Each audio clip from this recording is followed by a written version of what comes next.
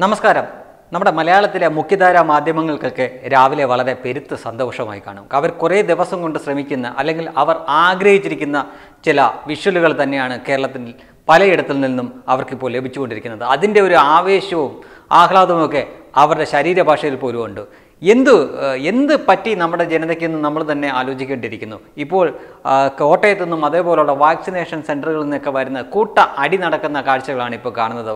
Vaccine token വേണ്ടിയിട്ട് ആളുകൾ കൂട്ടത്തോടെ വെപ്രാളത്തോടെ ഭ്രാന്തമായ രീതിയിൽ പെരുമാറുന്ന ചില കാഴ്ചകളൊക്കെയാണ് കേരളത്തിൽ അങ്ങോളം ഇങ്ങോളം കണ്ടുകൊണ്ടിരിക്കുന്നത്. ഈ ഒരു അവസ്ഥയിലേക്ക് ജനങ്ങളെ കൊണ്ടെത്തിച്ചതിൽ വലിയ ഒരു പങ്ക് നമ്മുടെ മുഖ്യധാരാ മാധ്യമങ്ങൾക്കുണ്ട് എന്ന് പറയാതെ വയ്യ. ശരിക്കും അവർ തന്നെയാണ് ഈ ജനങ്ങളെ ഈ ഒരു അവസ്ഥയിലേക്ക് കൊണ്ടെത്തിച്ചിരിക്കുന്നത്.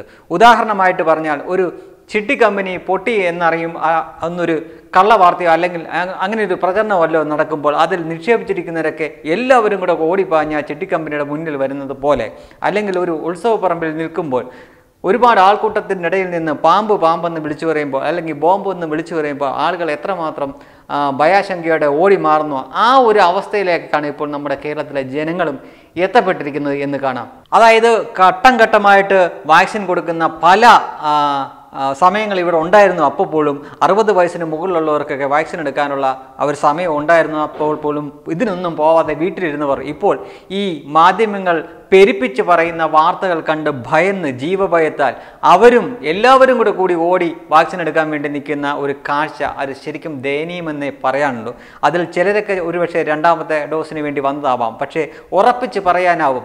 മുമ്പ് ഈ വാക്സിൻ എടുക്കാൻ വേണ്ടിയിട്ടുള്ള ഒരു സമയ പറഞ്ഞിരിക്കുന്ന ആ സമയങ്ങളിലൊന്നും ഉദാസീനമായി അതിന് പോവാതെ ആ കൊറോണയല്ലേ വരട്ടെ പോട്ടെ എന്നുള്ള രീതിയിൽ അതിനെ കാണുകയും അങ്ങനെ വാക്സിൻ എടുക്കാൻ പോകാതെ ഇരിക്കുന്ന ഒരുപാട് പേർ ഇപ്പോൾ ഇതാ ഈ മാധ്യമങ്ങൾ ഇങ്ങനെ ഊതി പെരുപ്പിച്ച് വിടുന്ന മരണക്കണക്കുകളും അല്ലെങ്കിൽ ഇല്ലാ കഥകളും സോഷ്യൽ മീഡിയ കൂടെ പഴയ ചില ചിത്രങ്ങളും വാർത്തകളും വാർത്തകളുമൊക്കെ വെച്ചിട്ട് കൂടി ഇങ്ങനെ പൊലിപ്പിച്ച് വിടുന്ന വാർത്തകളൊക്കെ കണ്ട് ഭയന്ന് എല്ലാവരും കൂടെ പ്രാണഭയത്തോടെ ഈ വാക്സിൻ എടുക്കാൻ വേണ്ടി തിങ്ങിക്കേറി അടി കൂടി നിൽക്കുന്ന വളരെ വേദനാജനകമായ ഒരു കാഴ്ചകളാണ് ഇപ്പോൾ കണ്ടുകൊണ്ടിരിക്കുന്നത്.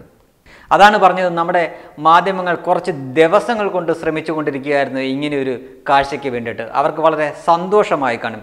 ഈ ആൾ മരിച്ചിട്ട് ആ ശവം തിന്നാൻ വേണ്ടി കാത്തിരിക്കുന്ന കഴുകനെ പോലെയാവുന്നു നമ്മുടെ മുഖ്യധാരാ മാധ്യമങ്ങളെന്ന് പറയാതെ തന്നെ വയ്യ. അവർ രാവിലെ അവർ ഏത് ചാനലെടുത്ത് നോക്കിയാലും അവരുടെ റിപ്പോർട്ട് ചെയ്യുന്നവരുടെ ശരീരഭാഷയും അവരുടെ ആവേശവും ഒക്കെ ഒന്ന് കാണണം.